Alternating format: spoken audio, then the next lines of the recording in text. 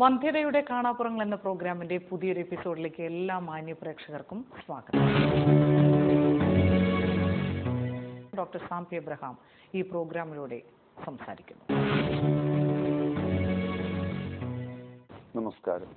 മന്ദിയ ചികിത്സയിലെ ഒരു മാർഗമാണ് I U I.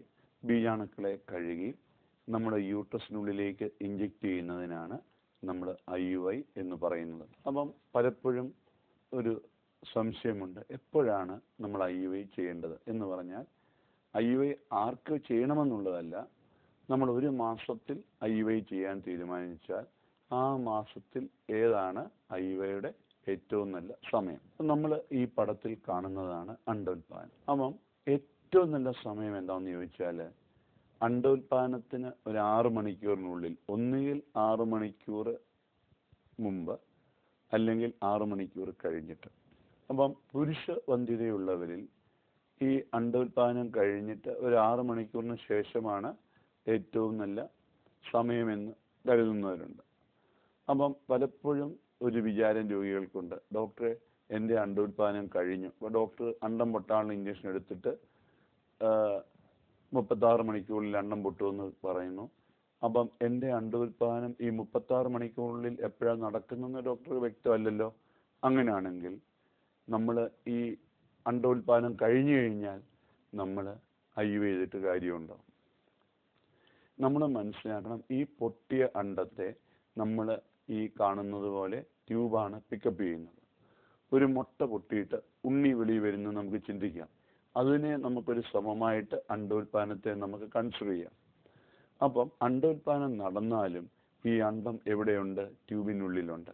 അതുകൊണ്ടാണ് നമ്മൾ പറയുന്നത് ഒന്നുകിൽ ഓവലേഷൻ ആറ് മണിക്കൂർ മുമ്പ് അല്ലെങ്കിൽ ഓവലേഷൻ ആറ് മണിക്കൂറിന് ശേഷം ഐ വൈ ചെയ്യുന്നതാണ് ഏറ്റവും നല്ലതെന്ന്. അപ്പം ഈ ബീജാണുക്കൾ എന്ത് ചെയ്യുവാണ്?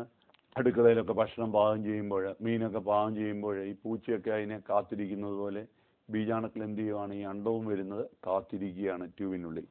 അപ്പം ചില അണ്ടം ഡെവലപ്പ് ചെയ്യാനായിട്ടുള്ള ഇഞ്ചക്ഷൻ എടുത്തു കഴിഞ്ഞിട്ട് മുപ്പത്താറ് മണിക്കൂർ ആകുമ്പം ഐ യു ഐ ചെയ്യുന്നവരുണ്ട്. ചിലർ അത് ഇരുപത്തിനാല് മണിക്കൂറിനുള്ളിൽ ചെയ്യുന്നവരുണ്ട്. ചിലർ അണ്ടം പൊട്ടാണ് ഇഞ്ചക്ഷൻ എടുത്തിട്ട് നാൽപ്പത് മുതൽ നാൽപ്പത്തിരണ്ട് മണിക്കൂറിനുള്ളിൽ ചെയ്യുന്നവരുണ്ട്. ചിലർ ഐ വൈ അണ്ടം പൊട്ടാനുള്ള ഇഞ്ചക്ഷൻ എടുത്തു കഴിഞ്ഞാൽ രണ്ട് ഐ വൈ ചെയ്യും. ഒന്ന് ഇരുപത്തിനാല് മണിക്കൂർ അല്ലെങ്കിൽ നാൽപ്പത്തെട്ട് മണിക്കൂർ. അപ്പം രണ്ട് ഐ വൈ ചെയ്താൽ ഒരു സൈക്കിളിൽ ചെയ്ത വിജയ ശതമാനം കൂടുമോ എന്ന് ഒരു സംശയമുണ്ട്. രണ്ട് തവണ ചെയ്താൽ നമ്മൾ ഉടനെ വിചാരിക്കുന്നത് വലിയൊരു മാറ്റം വരുമെന്നുള്ളതാണ്. ഒരു ആറ് ശതമാനം വിജയത്തിൽ വ്യത്യാസം വരും. അപ്പോൾ എന്താണ് ഇങ്ങനെ ചിലർ ഇങ്ങനെ പല സമയങ്ങളിൽ ചെയ്യുന്ന നമുക്ക് ഉടനെ ഒരു സംശയം വരാം. ചിലർ ഇരുപത്തിനാല് മണിക്കൂറിൽ ചെയ്യുന്നു ചിലർ മുപ്പത്താറ് മണിക്കൂറിൽ ചെയ്യുന്നു ചിലർ നാൽപ്പത്തിരണ്ട് മണിക്കൂറിൽ ചെയ്യുന്നു. ഇതെല്ലാം കാരണം ഈ അണ്ടം പൊട്ടാനായിട്ടുള്ള സമയം നമുക്ക് അത്ര വ്യക്തമല്ല എന്നുള്ളതാണ്. അപ്പം ഈ അണ്ടം പൊട്ടാനായിട്ടുള്ള സമയം വ്യക്തമായിട്ട് അറിയാൻ മാർഗമുണ്ടോ? ഒരു മാർഗമുണ്ട്. എന്താണ്? ഈ അണ്ടത്തിലേക്കുള്ള രക്തോട്ടം. അതാണ് നമ്മൾ ഇവിടെ ഈ ഡോപ്ലർ സ്റ്റഡി നമ്മൾ കാണുന്നത്. ഈ അണ്ടത്തിലേക്കുള്ള രക്തോട്ടം നമ്മൾ നോക്കും. അപ്പോൾ അണ്ടം പൊട്ടുന്നതിന് മുമ്പ് ഈ അണ്ടത്തിലേക്കുള്ള രക്തോട്ടം വളരെ കൂടി വരും. അപ്പം നമ്മൾ വളരെ നല്ല രക്തോട്ടം ഉണ്ടെന്ന് കണ്ടാലോ?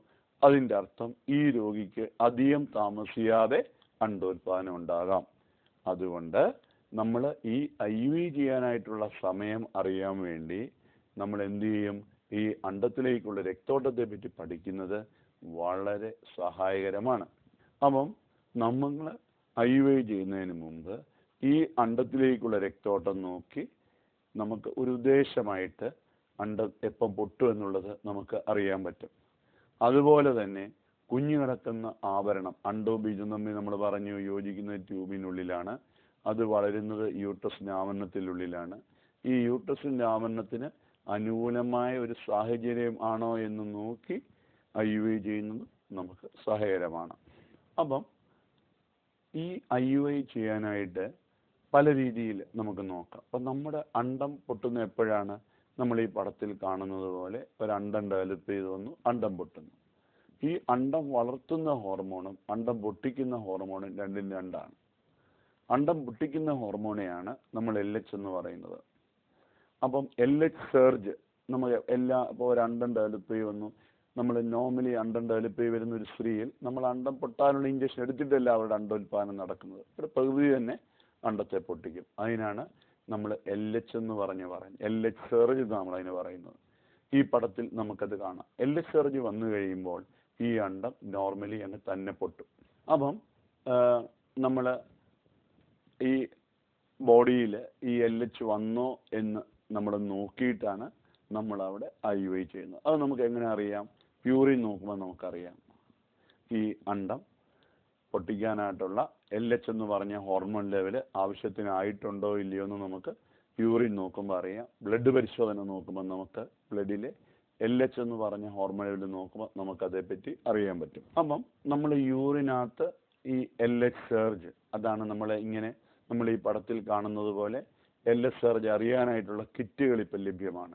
അപ്പോൾ ആ കിറ്റുകൾ കണ്ട് എൽ എസ് സർജ് കണ്ടു കഴിഞ്ഞാൽ നമുക്ക് ഐ യു ഐ എപ്പം ചെയ്യണമെന്ന് പ്ലാൻ ചെയ്യാൻ പറ്റും. അപ്പം നമുക്ക് നാച്ചുറൽ ആയിട്ടുള്ള സൈക്കിളിലും ഐ യു ഐ ചെയ്യാം.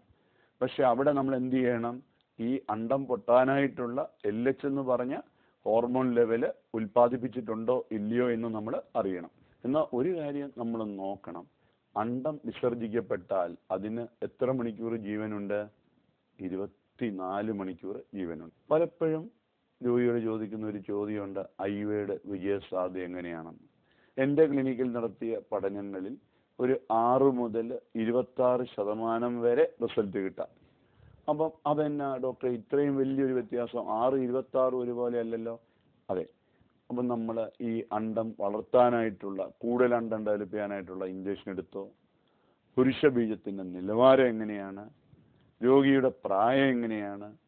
രോഗിക്ക് ഈ അണ്ടോൽപാദന വൈകല്യത്തിന്റെ കൂടെ എൻഡോമെട്രിയോസിസ് അതായത് ഗർഭപാത്രത്തിന്റെ ആവരണത്തിന് കോശങ്ങൾ യൂട്രസിന് വെളിയിൽ വളരുന്ന അവസ്ഥയുണ്ടോ? നമ്മൾ ഈ പടത്തിൽ നമുക്ക് എൻഡോമെട്രിയോസിസ് കാണാം. അല്ലെങ്കിൽ യൂട്രസിൽ മുഴയുണ്ടോ? നമുക്ക് ആ പഠനത്തിൽ കാണാം. അല്ലെങ്കിൽ യൂട്രസിൽ എന്തെങ്കിലും നീർക്കെട്ട് വന്നിട്ടുണ്ടോ? ഇതൊക്കെ അതിന്റെ വിജയസാധ്യതയെ ബാധിക്കുന്ന ഘടകമാണ്. എപ്പോഴും അന്ത്യ ചികിത്സയിൽ ഓർക്കണം. പലപ്പോഴും പറ്റുന്ന ഒരു തെറ്റാണ്. ഡോക്ടർ എന്റെ കൂട്ടുകാരിക്ക് അല്ലെ എന്റെ കൂട്ടുകാരന് എന്റെ ബന്ധുവിന് ഈ ഒരു ചികിത്സയിൽ കൂടെ ഫലം കിട്ടി. നമുക്ക് അതൊന്ന് ട്രൈ ചെയ്യാൻ പറ്റത്തില്ലേ? എന്നെ കേൾക്കുന്ന പ്രേക്ഷകർ ദയവായിട്ട് മനസ്സിലാക്കണം അവരുടെ അവസ്ഥ എന്താണെന്ന് നിങ്ങൾക്കറിയത്തില്ല. നമ്മൾ വെളിയിൽ കാണുന്ന പോലെ അല്ലായിരിക്കാം അവരുടെ യൂട്രസിന്റെ അവസ്ഥയും അവരുടെ അണ്ടത്തിന്റെ നിലവാരവും ഒക്കെ. അപ്പൊ അതേ മാർഗം നിങ്ങളിൽ തന്നെ ഫലവത്താകുമെന്നുള്ളത് ഒരു പൂർണമായിട്ട് ഉറപ്പുള്ള കാര്യമല്ല. ഒരിക്കലും നമ്മുടെ അവസ്ഥ വേറെ രോഗിയുമായിട്ട് കമ്പയർ ചെയ്യരുത്. ടെസ്റ്റ് വി ചികിത്സയിൽ ഈ പ്രശ്നം വരും. അവർക്ക് ഐ വി എഫ് ആയിട്ട് പ്രയോജനമില്ല. എനിക്ക് പ്രയോജനം ഉണ്ടാകത്തില്ല അല്ലെങ്കിൽ അവർക്ക് ഐ വൈ ചെയ്ത് പ്രയോജനമുണ്ടായി. എനിക്ക് പ്രയോജനമാവും. ഇതൊക്കെ മനസ്സിന്റെ ഓരോ നിഗമനങ്ങളാണ്. അതിന് യാഥാർത്ഥ്യവുമായി എപ്പോഴും പൊരുത്തം വേണമെന്നില്ല. അപ്പോൾ അതുപോലെ തന്നെ ഐ വൈയിലും ഐയിലും പുരുഷ ബീജത്തിന്റെ നിലവാരം വളരെ പ്രാധാന്യമുള്ളതാണ്. അപ്പൊ ഞാനിവിടെ പറഞ്ഞത് ഒരു മൊത്തം നിങ്ങൾ പെർസെന്റേജ് ചോദിച്ചാൽ നമുക്ക് അത് ഈ ഒരു രീതിയിൽ അതിനെ നമുക്ക് പറയുവാനായിട്ട് കഴിയുകയുള്ളൂ. അപ്പം പിന്നെ പലപ്പോഴും രോഗികൾ ചോദിക്കുന്ന ചോദ്യമാണ് ഡോക്ടർ ഐ വൈ പെയിൻ വരുമോ എന്ന്?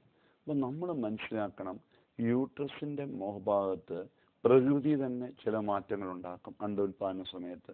യൂട്രസിന്റെ മോഹഭാഗം തുറന്നു വരും. നമുക്കറിയാം പ്രകൃതി തന്നെ ഒരു ഒരു പുഷ്പം എങ്ങനെയാണ് വിടരുന്നത്? നമ്മളെ ഒന്നും വിടർത്തിയിട്ടല്ല. പ്രകൃതിക്ക് തന്നെ അതിന്റെതായ ഒരു ഒരു ഒരു പ്രവർത്തനമുണ്ട്. എന്ന് പറഞ്ഞതുപോലെ യൂട്രസിന്റെ മോഭാഗം വികസിച്ചു വരും. അവിടെ മൂക്കള മ്യൂക്കസ് ധാരാളമായിട്ട് വരും. അങ്ങനെ പ്രകൃതി തന്നെ അതിനെ സജ്ജമാക്കും. അപ്പോൾ അമിതമായിട്ട് ഉത്കണ്ഠയില്ലെങ്കിലോ ഈ യൂട്രസും ട്യൂബ് ഓവറി ഒന്നും ഒട്ടിപ്പിടിച്ചിരിക്കാത്ത അവസ്ഥയിലൊക്കെ ഐവ അങ്ങനെ പെയിൻ ഉണ്ടാകത്തില്ല. അവിടെയും പെയിൻ ഡോക്ടർ എന്റെ കൂട്ടുകാരി പറഞ്ഞു ഭയങ്കര പെയിനാണ് ചിലർക്ക് അണ്ടോത്പാദനത്തിന് ശേഷം ഉണ്ടാകുന്ന പെയിൻ അത് വരാം. ചെറിയ ഒരു വലിച്ചിലൊക്കെ ആ ഭാഗത്ത് അനുഭവപ്പെട്ടു എന്ന് വരാം. എന്നാൽ അവരുടെ ട്യൂബിനൊക്കെ വീക്കം വന്നിട്ടുണ്ട്. അവരുടെ യൂട്രസ് അണ്ടവാനം ഒട്ടിപ്പിടിച്ചിരിക്കുന്ന അവസരത്തിലൊക്കെ ഐ വൈ ചെയ്യാൻ ബുദ്ധിമുട്ട് വരാം. അങ്ങനെയുള്ള അവസരത്തിൽ അവർക്ക് പെയിൻ കൂടുതലായിട്ട് അനുഭവപ്പെട്ടു എന്ന് വരാം. അപ്പം പലപ്പോഴും രോഗികളുടെ ഭയം ഡോക്ടർ യൂട്രസിനുള്ളിലേക്കൊക്കെ ട്യൂബ് കടത്തുക എന്നൊക്കെ പറഞ്ഞാൽ ഭയങ്കര പെയിൻ അല്ലേ? നമ്മൾ മനസ്സിലാക്കണം അത് പ്രകൃതി തന്നെ അതിനുള്ള ഒരു മാർഗം അവിടെ ഉയർത്തിയിട്ടുണ്ട്. അവിടെ രോഗിക്ക് ഉത്കണ്ഠ വരുമ്പോൾ എന്ത് ചെയ്യും? ഈ മസിലിന്റെ പ്രവർത്തനമൊക്കെ ബാധിക്കും. അപ്പം എന്റെ ട്യൂബിൻ എന്റെ യൂട്രസിനുള്ളിലേക്ക് ഒരു ട്യൂബ് കടത്തുകയാണെന്നുള്ള ചിന്ത വരുമ്പോഴേ യൂട്രസിനെ മോഹഭാഗം ചിലപ്പോൾ അടയാൻ തുടങ്ങും. അതുകൊണ്ട് അമിതമായിട്ടുള്ള ഉത്കണ്ഠ ഐ വൈക്ക് മുമ്പ് ഉണ്ടാവരുത്. അപ്പം ഈ ഐ വൈ നമ്മൾ നമ്മൾ ഈ പറഞ്ഞു ഈ ബീജാണുക്കൾ കഴുകി നമ്മൾ പാകപ്പെടുത്തിയിട്ടാണ് യൂട്രസിനുള്ളിലേക്ക് ഇഞ്ചെക്ട് ചെയ്യുന്നത്. പാകപ്പെടുത്തി കഴിഞ്ഞാൽ എത്ര മണിക്കൂർ പുരുഷ ബീജാണുക്കൾക്ക് ജീവനുണ്ട്? നമ്മൾ മുമ്പേ പറഞ്ഞു അണ്ടം വിസർജിക്കപ്പെട്ടാൽ ഇനി ഇരുപത്തിനാല് മണിക്കൂറുണ്ട്. എന്നാൽ നമ്മൾ പുരുഷ ബീജാണുക്കൾക്ക് കുറെ കൂടെ ക്ഷമയുണ്ട് അണ്ടത്തിന് വേണ്ടി കാത്തിരിക്കാൻ. നമ്മൾ പലപ്പോഴും വിചാരിക്കാറുണ്ട് പുരുഷന് ക്ഷമ കുറവാണെന്ന്. പക്ഷെ ബീജാണുക്കളുടെ കാര്യത്തിൽ അങ്ങനെയല്ല. അവർ ഇരുപത്തിനാല് മുതൽ എഴുപത്തിരണ്ട് മണിക്കൂർ വരെ ഐ ശേഷം അതിന് ജീവിക്കാനായിട്ടുള്ള കഴിവുണ്ട്. നാല് മണിക്കൂർ കഴിഞ്ഞ് അതിന്റെ ക്ഷമത ഇല്ലാതാവുകയില്ല. അപ്പം ഈ യൂട്രസിന്റെ മുഖഭാഗത്ത് വളരെ ആരോഗ്യമുള്ള ഒരു മ്യൂക്കസ് ഉണ്ടെങ്കിൽ അവിടെ ഏകദേശം അഞ്ചു ദിവസം വരെ ബീജാണുക്കൾക്ക് ജീവിക്കാം. ഞാൻ പറഞ്ഞത് ഈ യൂട്രസിന്റെ മോഭാഗത്ത് വളരെ നല്ല മ്യൂക്കസ് ഉള്ള ഒരാളെ പറ്റിയാണ്. അപ്പം രണ്ട് മുതൽ മൂന്ന് ദിവസം വരെ ഏതായാലും ബീജാണുക്കൾ അവിടെ ജീവിക്കും. അപ്പം നമുക്ക് ഈ അണ്ടോൽപാദനം സമയം നമ്മൾ ബന്ധപ്പെടുന്നതും അയ്യയുടെ കൂടെ ബന്ധപ്പെടുമ്പോൾ നമ്മൾ നോർമലി ബന്ധപ്പെട്ട ബീജാണുക്കൾ ഈ യൂട്രസിന്റെ മോഭാഗത്ത് കൂടുതൽ സമയം ഉണ്ടാവും. നമുക്ക് കൂടുതൽ കവറേജ് വേണമെന്നുണ്ടെങ്കിൽ ഐ വിക്ക് ശേഷം നോർമലായിട്ട് ബന്ധപ്പെടുന്നത് കൂടുതൽ ബീജാണുക്കൾ യൂട്രസിന്റെ മോഭാഗത്ത് എത്തി വിജയസാധ്യത കൂട്ടുന്നതിനെ സഹായിക്കും. അപ്പം പലപ്പോഴും ഒരു ചോദ്യം രോഗിയോട് ചോദിക്കാറുണ്ട് ഡോക്ടർ എത്ര നേരം ഞാൻ കിടക്കണം? എനിക്ക് നടക്കാൻ പറ്റുമോ?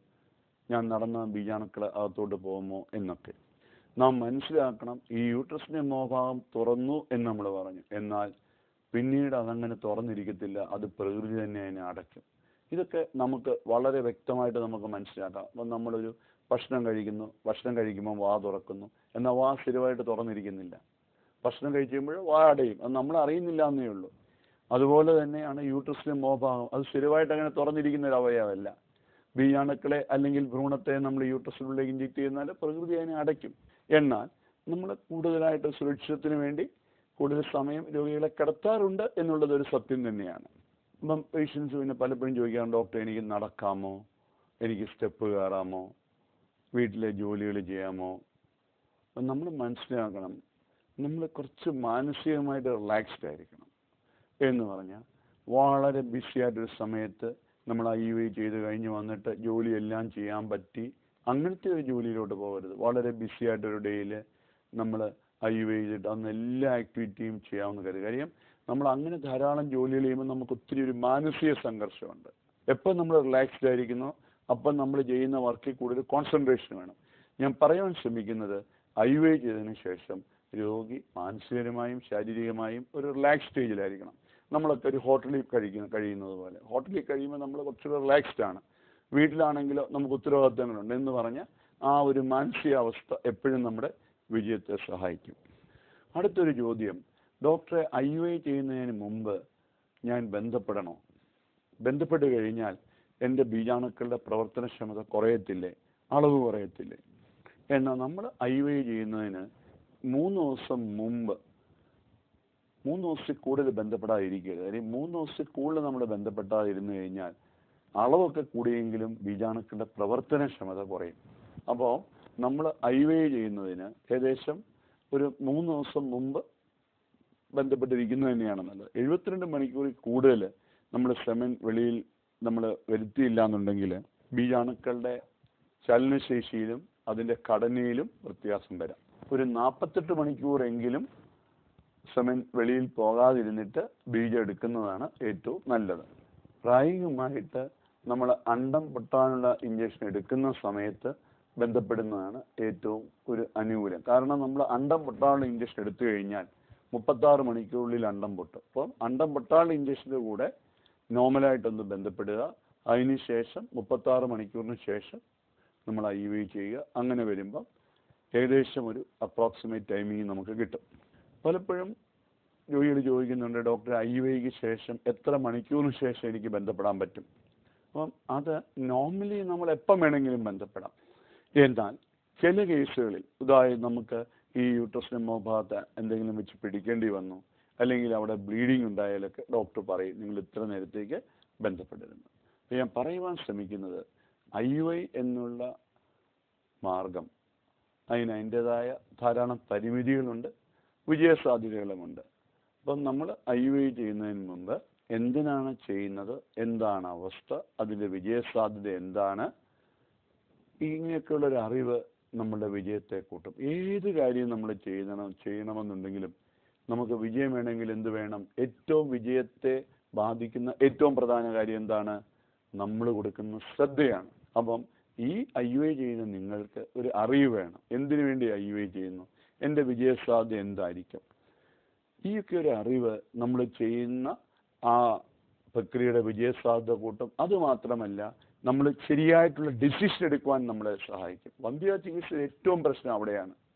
ഒരു ഏകാഗ്രത നഷ്ടപ്പെട്ടു. കാരണം അവിടെ മനസ്സെപ്പോഴും ഡിസ്റ്റർബ്ഡ് ആണ്. ഏകാഗ്രത എങ്ങനെ വിജയം കിട്ടും? വിജയത്തെ പറ്റിയാണ് ഇരുപത്തിനാല് മണിക്കൂറും ചിന്തിക്കുന്നത്. അങ്ങനെ വരുമ്പോൾ എന്ത് പറ്റും? ഏകാഗ്രത നഷ്ടപ്പെടും. ഏകാഗ്രത നഷ്ടപ്പെടുമ്പോഴോ നമ്മൾ എടുക്കുന്ന തീരുമാനങ്ങൾ തെറ്റും. അതാണ് വന്ധ്യ ചികിത്സയിൽ നാം വ്യക്തമായിട്ട് അറിയേണ്ടത്. അപ്പം നമ്മൾ എടുക്കുന്ന മാർഗത്തെ പറ്റിയുള്ള അറിവ് നമ്മുടെ വിജയത്തിന്റെ സാധ്യത കൂട്ടുമെന്ന് നാം അറിയുക. വന്ധ്യതയെക്കുറിച്ചുള്ള സംശയങ്ങൾ ചോദിച്ചുകൊണ്ട് ഒരുപാട് കത്തുകളാണ് ഞങ്ങൾക്ക് കിട്ടിക്കൊണ്ടിരിക്കുന്നത്. അതിൽ നിന്നും ചില കത്തുകൾക്ക് ഡോക്ടർ ഈ പ്രോഗ്രാമിലൂടെ മറുപടി നൽകുന്നു. ഡോക്ടറിന് കത്തിലേക്ക് കടക്കാം. ഈ കത്ത് എഴുതിയിട്ടുള്ളത് ശ്രീജയ ബാലകൃഷ്ണൻ തിരുവനന്തപുരം. ഡോക്ടർ ഞാൻ നാൽപ്പത് വയസ്സുള്ള വിവാഹിതയാണ്. ഒരു കുട്ടിയുണ്ട്. എനിക്ക് ഈ അടുത്ത കാലത്ത് കടുത്ത ആർത്തവ രക്തസ്രാവം ഉണ്ടായി. ഒരു ഡോക്ടറെ കാണിച്ചപ്പോൾ ഹിസ്ട്രക്ടമി ചെയ്യണം എന്ന് പറഞ്ഞു. ഇത് ചെയ്താൽ എന്തെങ്കിലും സൈഡ് എഫക്റ്റ് ഉണ്ടാകുമോ? ചെയ്ത ശേഷം എന്തൊക്കെയാണ് ശ്രദ്ധിക്കേണ്ടത്? വിശദമായ മറുപടി പ്രതീക്ഷിക്കുന്നു ശ്രീജയ ബാലകൃഷ്ണൻ തിരുവനന്തപുരം. മുപ്പത്തഞ്ച് വയസ്സിന് മുമ്പ് സാധാരണയായിട്ട് നമ്മൾ അങ്ങനെ ഗർഭപാത്രം നീക്കം ചെയ്യാറില്ല. ക്യാൻസറോ അങ്ങനെയൊക്കെ ഉണ്ടെങ്കിൽ സാധാരണ അങ്ങനെ നീക്കം ചെയ്യാറുള്ളൂ. അല്ലെങ്കിൽ ചിലപ്പോൾ പ്രസവ സമയത്ത് അമിതമായിട്ടുള്ള രക്തസ്രാവമുണ്ട്. അമ്മയുടെ ജീവൻ രക്ഷിക്കാൻ വേറെ മാർഗമില്ലെങ്കിൽ നമ്മൾ ഗർഭപാത്രം നീക്കം ചെയ്തു എന്ന് വരാം. യൂട്രസിന് ക്യാൻസർ ഉള്ളവരിൽ ഗർഭപാത്രത്തിന്റെ മസിലും ആവരണം കൂടി ഇടകലർന്ന് കിടക്കുന്ന എൻഡോമെട്രിയോസ് പറഞ്ഞ അവസ്ഥയുള്ളവരിൽ യൂട്രസി മുഴയായിട്ടുള്ള ഫൈബ്രോയിഡ് ഉള്ളവരിൽ അവരിലൊക്കെ നമ്മൾ ഗർഭപാത്രം നീക്കം ചെയ്യാറുണ്ട്. നമ്മൾ ഗർഭപാത്രം നീക്കം ചെയ്താലും അണ്ടാശയം തുടർന്ന് പ്രവർത്തിക്കുക പലപ്പോഴും ഒരു സംശയമാണ് ഡോക്ടറെ ഗർഭാതുരം നീക്കം ചെയ്താൽ എന്റെ ഓവറിയുടെ പ്രവർത്തനം നിലയ്ക്കുവാ ആ ഓവറിയുടെ പ്രവർത്തനം കുറച്ച് കുറയാം കാര്യം രക്തത്തെ രക്തോട്ടത്തിന്റെ പ്രശ്നങ്ങൾ കൊണ്ട് പക്ഷേ അണ്ടാശയത്തിന്റെ പ്രവർത്തനം പൂർണമായിട്ട് നിലയ്ക്കുകയില്ല. അപ്പം പ്രവർത്തനം നിലച്ചു പോയാലോ നമ്മൾ ഹോർമോൺ റീപ്ലേസ്മെന്റ് തെറാപ്പി നൽകും. നമ്മൾ ഒരു കാര്യം ശ്രദ്ധിക്കണം. ഗർഭപാത്രം നീക്കം ചെയ്ത സ്ത്രീകളിൽ അസ്ഥിക്ക് ഒടിവുണ്ടാകാനായിട്ടുള്ള സാധ്യത കൂടുതലാണ്. അപ്പം നാം ഒരുപോലെ തന്നെ നമ്മൾ വ്യക്തമായിട്ട് അറിയണം നമ്മുടെ ഓവറി നീക്കം ചെയ്തിട്ടുണ്ടോ ഇല്ലയോ എന്ന്. പലപ്പോഴും നമ്മൾ ഗർഭപാത്രം നീക്കം ചെയ്ത രോഗികളോട് ചോദിച്ചാൽ ഓവറി നീക്കം ചെയ്ത ഡോക്ടറെ ആ പേപ്പറൊന്നും എന്റെ കയ്യിലില്ല. അല്ലെങ്കിൽ അന്ന് ഓവറി നീക്കം ചെയ്തോ ഇല്ലയോ എനിക്ക് അത്ര ഓർമ്മയില്ല. ഏതായാലും ഞാൻ പിന്നെ പരിശോധനയ്ക്കൊന്നും പോയിട്ടില്ല. കാര്യം അത് അപകടകരമാണ്. അപ്പം ഈ പ്രായമാവും തോറും നമ്മുടെ ഓവറിയിൽ പ്രശ്നങ്ങൾ വരാം. അപ്പം ഗർഭപാത്രം നീക്കം ചെയ്ത ഒരു വ്യക്തമായിട്ട് ഡോക്ടറിൽ നിന്ന് മനസ്സിലാക്കണം ഓവറി നീക്കം ചെയ്തോ ഇല്ലയോ എന്ന്. എന്നിട്ട് തീർച്ചയായിട്ടും അതിന്റെ ഫോളോ അപ്പ് ആവശ്യമാണ്. അത് പ്രത്യേകം ഓർക്കണം. കാരണം യൂട്രസ് റിമൂവ് ചെയ്താൽ ഓവറി നീക്കം ചെയ്യുന്ന അർത്ഥമില്ല. ഓവറിയിലും നമുക്ക് ക്യാൻസർ വരാം. അതിന് വലിയ ലക്ഷണങ്ങളൊന്നും ഉണ്ടാവണമെന്നില്ല. പലപ്പോഴും ഗ്യാസ് എന്നുള്ള ഒരു പ്രശ്നമായിരിക്കും രോഗി പറയുന്നത്. ഡോക്ടർ അത് ഗ്യാസാന്ന് വെച്ച് ഞാൻ ഇങ്ങനെ പല ഡോക്ടർമാരെ കണ്ടു. അപ്പോൾ യൂട്രസ് നീക്കം ചെയ്തു എന്നുള്ളൊരു പ്രവർത്തനം പറയുമ്പോൾ ചിലപ്പോൾ അത് അവഗണിക്കപ്പെട്ടു പോയെന്ന് പറയാം. അവരെന്ത് ചെയ്യും? ഗ്യാസിന്റെ മരുന്ന് ഇങ്ങനെ കഴിച്ചുകൊണ്ട് കഴിച്ചുകൊണ്ടിരിക്കും. ഒരിക്കലും അങ്ങനെ ചെയ്യരുത്. നിങ്ങൾ ഈ ഗർഭപാത്രം നീക്കം ചെയ്യുന്ന സമയത്ത് നിങ്ങൾക്ക് തരുന്ന പേപ്പർ വളരെ സുരക്ഷിതമായിട്ട് അത് കീപ്പ് ചെയ്യണം. അതുപോലെ തന്നെ മാസമുറ നിൽക്കുന്നതനുസരിച്ച് മൂഡ് വ്യത്യാസം പെട്ടെന്ന് ദേഷ്യം തോന്നുക ഭർത്താവിനോട് ദേഷ്യപ്പെടുക കുഞ്ഞുങ്ങളോട് അമിതമായിട്ട് ദേഷ്യപ്പെടുക അല്ലെങ്കിൽ ഒരുതരം നിരാശ ഏകാഗ്രത വിഷാദമൊക്കെ ഉണ്ടാകുന്നുണ്ടെങ്കിൽ തീർച്ചയായിട്ടും നിങ്ങളുടെ ഹോർമോൺ ലെവലിൽ ഉണ്ടാകുന്ന മാറ്റത്തിന്റെ ഭാഗമായിട്ട് ഈ പ്രശ്നങ്ങൾ ഉണ്ടായെന്ന് വരാം. ചിലർക്ക് അമിതമായിട്ടുള്ള ചൂട് വിയർപ്പ് ഫാൻ ഇട്ടാലും ഡോക്ടറെ എനിക്ക് ഇഷ്ടമാണ് എന്നൊക്കെ പറയുന്ന അവസരത്തിലുണ്ടെങ്കിൽ തീർച്ചയായിട്ടും ഹോർമോൺ മാറ്റങ്ങളുടെ പ്രതിഫലനമാണോ ഇതെന്ന് നമ്മൾ വ്യക്തമായിട്ട് നോക്കണം. തീർച്ചയായിട്ടും നമുക്ക് ഇത് ലാപ്രോസ്കോപ്പി വഴി നമുക്ക് നീക്കം ചെയ്യാം. അങ്ങനെയാണെങ്കിൽ വളരെ നമുക്ക് രോഗിക്ക് വിശ്രമത്തിന്റെ ഒന്നും ആവശ്യമില്ല. സാധാരണ ജോലിയിലേക്ക് പെട്ടെന്ന് ഇടപെടുവാനായിട്ട് അവർക്ക് കഴിയും. നമുക്കറിയാം നമ്മൾ അറിയാതെ ചില ചിന്തകൾ നമ്മുടെ മനസ്സിൽ ഇങ്ങനെ ഉയർന്നു വരാറുണ്ട്. അതൊക്കെ നമ്മൾ അറിയാം ഉപബോധ മനസ്സ് ഇപ്പം നമ്മൾ ഒരു യാത്ര പോകുമ്പോൾ അപകടം വരുമോ? അല്ലെങ്കിൽ ഇങ്ങനെയൊക്കെയുള്ള ചിന്തകൾ അറിയാതെ മനസ്സിൽ നിന്ന് വരും. നമ്മുടെ ചിന്തകളിൽ ഒരു എഴുപത്തിമൂന്ന് ശതമാനവും ആത്മഗതങ്ങളാണ്. എന്നാൽ ഈ ചിന്തകൾ നമ്മുടെ ജീവിതത്തിൽ വലിയ സ്വാധീനങ്ങൾ വരുത്തുന്നുണ്ട് എന്ന് നമ്മൾ അറിയണം. ഉദാഹരണത്തിന് നമുക്ക് ചില മുൻവിധികളുണ്ട്. ഓ അത് ശരിയല്ല. അത് ചെയ്താൽ പ്രയോജനം ഉണ്ടാകത്തില്ല അത് നമ്മുടെ ഒരു മുൻവിധിയാണ്. അപ്പൊ നമ്മൾ എന്ത് ചെയ്യും? അത് നോക്കത്തില്ല. ഒരു പരീക്ഷയ്ക്ക് നമ്മുടെ കുട്ടികൾ പറയുന്നില്ല അത് ഞാൻ പഠിച്ചില്ല. പഠിക്കാഞ്ഞിടത്തു നിന്ന് തന്നെ ക്വസ്റ്റ്യൻ വന്നു എന്ന് പറയുന്ന പോലെയാണ്. അപ്പം നമ്മൾ എന്ത് ചെയ്യണം? നമ്മൾ നമ്മളോട് തന്നെ പറയണം. വന്ധ്യത അനുഭവിക്കുന്ന നിങ്ങൾ ആദ്യം നിങ്ങളോട് തന്നെ സംസാരിക്കണം. ആരായി തീരണമെന്ന് നിങ്ങൾ നിങ്ങളോട് തന്നെ പറയുക. എന്നിട്ട് ചെയ്യുക. നമ്മൾ ചിലപ്പം പറയാറുണ്ട് ഇതെന്നെ കൊല്ലും. ഇതെല്ലാം നമ്മൾ മനസ്സിലാക്കണം. ഇങ്ങനൊരു വാക്ക് പറയുമ്പോൾ നമ്മുടെ ഉപബോധ മനസ്സിൽ അതിന്റെതായ ഒരു ചലനങ്ങളുണ്ട്. അവ നമ്മുടെ നേട്ടങ്ങളെ ബാധിക്കുന്ന കാര്യമാണ്. അപ്പം ചില ഞാൻ ചില ശുഭസൂചകമായിട്ടുള്ള വാക്കുകൾ പറയാം. എനിക്ക് സമയമുണ്ട് ഞാൻ വിശ്വസിക്കുന്നു ഞാൻ നേടും. ഇങ്ങനെയുള്ള ശുഭസൂചകമായിട്ടുള്ള വാക്കുകൾ പറയുവാൻ ശ്രദ്ധിക്കണം. ഒരു പരീക്ഷയ്ക്ക് പോകുന്നതിന്റെ മുമ്പ് ഒരു കുട്ടി പറയുകയാണ് ഓ ഇനി ഞാൻ ശരിയാകില്ല എന്നൊരു പറഞ്ഞാൽ അത് അവന്റെ പ്രവൃത്തിയെ ബാധിക്കാം. ഈ ആത്മഗതം നമ്മുടെ ജീവിതത്തിനെ മാറ്റുവാൻ കഴിവുള്ളതാണ് എന്ന് നമ്മൾ ഓർക്കണം. നമ്മുടെ ആഗ്രഹങ്ങളെ നമ്മുടെ ഉള്ളിലേക്ക് എത്തിക്കുവാൻ ഈ ആത്മഗതത്തിന് കഴിയും. അപ്പൊ ഒരിക്കലും പറയരുത് എനിക്കിതൊന്നും ശരിയാവത്തില്ല. ഈ കുടുംബ ബന്ധം എന്റെ ശരിയാവത്തില്ല. എനിക്ക് കുഞ്ഞുങ്ങൾ ഉണ്ടാകത്തില്ല അല്ലെങ്കിൽ ഞാൻ നമ്മൾ തമ്മിൽ മുമ്പോട്ട് പോയാൽ ശരിയാവില്ല. ഇതൊക്കെ ആത്മഗതമാണ് ഇതൊന്നും ശുഭസൂചകമല്ലെങ്കിൽ ജീവിതത്തിൽ വിജയമുണ്ടാകുകയില്ല. എപ്പോഴും ശുഭസൂചകമായിട്ടുള്ള വാക്കുകൾ പറയുവാൻ നമ്മൾ ശ്രദ്ധിക്കണം. വന്ധ്യ എന്നൊരു ശാപമല്ല. വന്ധ്യയ്ക്ക് വ്യക്തമായിട്ടുള്ള ചികിത്സകളുണ്ട്. എപ്പോഴും നല്ല ചിന്തകൾ നിങ്ങളുടെ മനസ്സിൽ കൊണ്ടുപോകാനായിട്ട് ശ്രദ്ധിക്കുക. അത്യാധുനികമായ ഈ ചികിത്സയുടെ പ്രയോജനം സാധാരണക്കാരയാൾക്ക് ലഭിക്കണം എന്ന് എന്റെ മാതാപിതാക്കൾക്ക് വളരെയേറെ ആഗ്രഹമുണ്ട്. നമുക്ക് ഒരുമിച്ച് വന്ദിക്കെതിരെ പടവരുതാം. നന്ദി നമസ്കാരം. വന്ധ്യതയുടെ കാണാപ്പുറങ്ങൾ എന്ന പ്രോഗ്രാമിന്റെ ഈ എപ്പിസോഡും ഇവിടെ പൂർണമാകുന്നു. അടുത്ത ആഴ്ച വീണ്ടും കാണാം. ഈ പ്രോഗ്രാമിനെ കുറിച്ചുള്ള നിങ്ങളുടെ വിലയേറിയ നിർദ്ദേശങ്ങളും അഭിപ്രായങ്ങളും കത്തുകളും ഇമെയിലും ഞങ്ങൾക്ക് അയയ്ക്കുക. ഞങ്ങളുടെ വിലാസം Abraham's Advanced palace and phone nine seven double four Bishop Palace, double Phone 9744 939925.